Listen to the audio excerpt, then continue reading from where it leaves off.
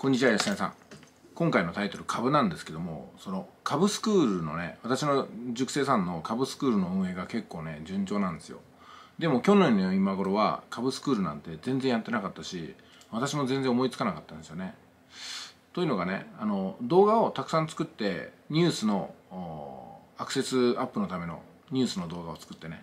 でそれで人を呼び込んだらあ何かしかのセールスをしましょうみたいなことを決めてたんですけどもまあいまいちね動画を作っても商品決まってなかったんですよ。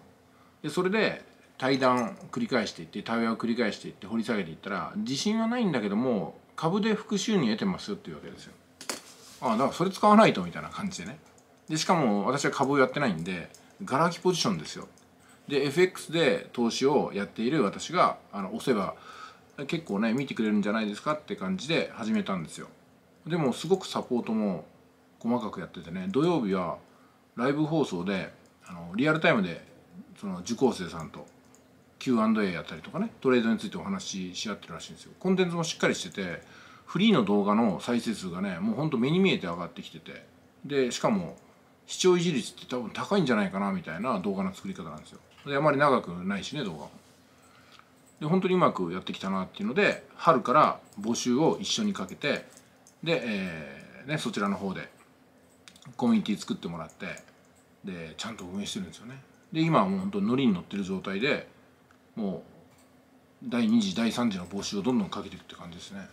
だからこの前ねあのやり取りしてて思ったんですけど1年前はこんなになると思わなかったそれで自分のコミュニティを持つことのこのねありがたさっていうのをねよく言われてました。ねやっぱ